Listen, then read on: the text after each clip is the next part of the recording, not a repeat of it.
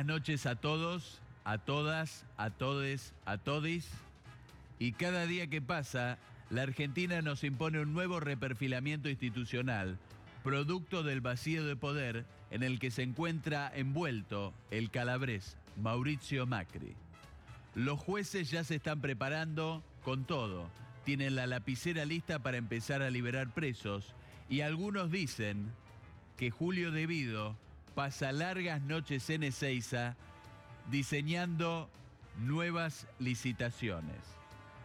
Licitaciones que son más jugosas que Asado de Mansur, quien también tiene vacío, pero no de poder.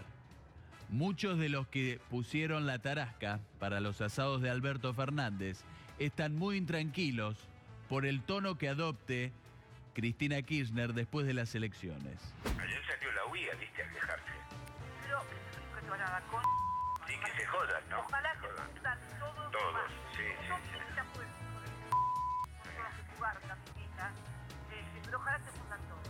Y terminemos trayendo azúcar de, no sé, de Cuba o de la China o de la... A la Madonna. Bueno, me avisa la producción que tenemos en línea al cerebro detrás de los polémicos tweets de Luciana Salazar. Vamos ahora a charlar con el ghostwriter, quien sería la persona que está detrás de Luciana Salazar.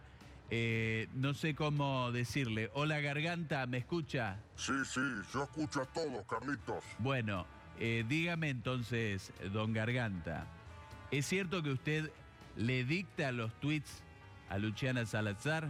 Digamos que algo así. Lo que pasa es que Alberto está pensando en Redrado como ministro y la jefa pidió como condición que la desfrivolicemos a Luli Pop. Ahora es Luli Nakan Pop. Una eventual primera dama del Palacio de Hacienda no puede ser hueca. Y usted entonces vino a llenarla. No sea machirulo, señor Pañi.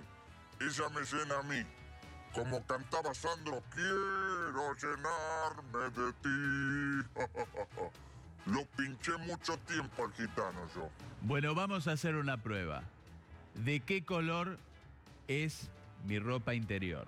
Mire, los dos sabemos muy bien que usted no usa ropa interior, solo usa dos gotitas de perfume Aqua di Parma. Bueno, como diría Jacqueline Dutra, estoy tan sorpresa como todos ustedes. Eh, ¿Cómo sabe todo esto? Eh, por favor, vamos cortando la comunicación porque ya tiene más información que yo y toda la AFI. Mientras tanto, Alberto Fernández, en su gira por el mundo, cual Iván de Pineda, mascó hojas de coca con Evo Morales y dejó entrever que se viene un superimpuesto al patrimonio en el 2020. Fernández también declaró que hoy el impuesto a los bienes personales es obscenamente bajo. Por eso, en el próximo programa intentaremos calmar a quienes blanquearon sus dólares allá por el 2016 y decirles que se tomen un whisky o un fernecola o un campari. No sé, lo conversaremos con Nicolás Dujomne, quien ya se tomó una garompa y todo esto le chupa huevo porque total la tiene afuera.